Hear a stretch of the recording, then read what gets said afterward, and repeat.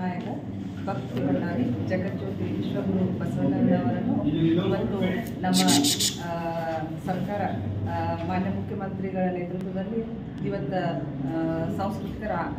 ವಿಶ್ವಗುರು ಸಾಂಸ್ಕೃತಿಕ ನಾಯಕ ಅಂತ ಇವತ್ತು ಘೋಷಣೆ ಮಾಡಿದ್ದಕ್ಕೆ ಮಾನ್ಯ ಮುಖ್ಯಮಂತ್ರಿಗಳಿಗೂ ಹಾಗೂ ಉಪಮುಖ್ಯಮಂತ್ರಿಗಳು ಹಾಗೂ ಸಚಿವ ಸಚಿವ ಸಂಪುಟದ ಎಲ್ಲ ಸಚಿವರುಗಳಿಗೂ ಸದಸ್ಯರುಗಳಿಗೂ ಇವತ್ತು ನಮ್ಮ ಎಲ್ಲ ಒಂದು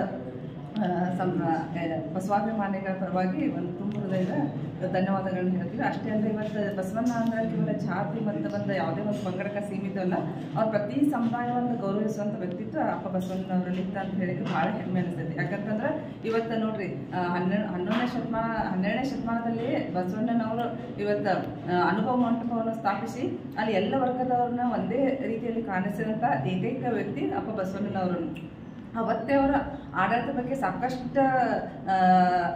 ಒಂದು ದಿವ್ಯ ಸಂದೇಶಗಳನ್ನು ನಮ್ಮ ಸಮಾಜ ಒಂದು ಈ ಜಗತ್ತಿಗೆ ನೀಡಿದ್ರು. ಇಂಥ ಒಂದು ವ್ಯಕ್ತಿಯನ್ನು ಗುರುತಿಸುವಂಥ ಸರ್ಕಾರ, ಸಾಂಸ್ಕೃತಿಕ ನಾಯಕ, ವಿಶ್ವಗುರು ಅಂತ ಏನು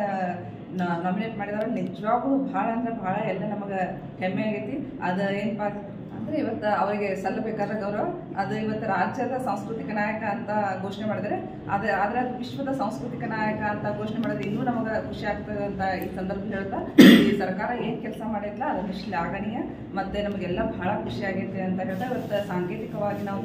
ನಮ್ಮ ಕಿತ್ತೂರಿನ ತಹಶೀಲ್ದಾರ್ ಆಫೀಸ್ಗೆ ಒಂದು ಬಸವ ಬಸವ, ವಿಶ್ವ ಫೋಟೋವನ್ನು ಕೊಟ್ಟು ಮೊಟ್ಟ ಮೊದಲನೇದಾಗಿ ನಾವು ಆ ಪೂಜೆಯನ್ನು ಸಲ್ಲಿಸಿ ನಮ್ಮ ಎಲ್ಲ ಬಸವಾಭಿಮಾನಿಗಳು ಇವತ್ತೊಂದು ಗೌರವವನ್ನು ಸಮರ್ಪಿಸಿದ್ದೀರಂತ ಈ ಸಂದರ್ಭದಲ್ಲಿ. ಕಮಲಕ್ಕೆ ನಿತ್ಯ ವಂದಿಪೆ ತಂದೆಯೇ, ನಿತ್ಯ ವಂದಿಪೆ ತಂದೆಯೇ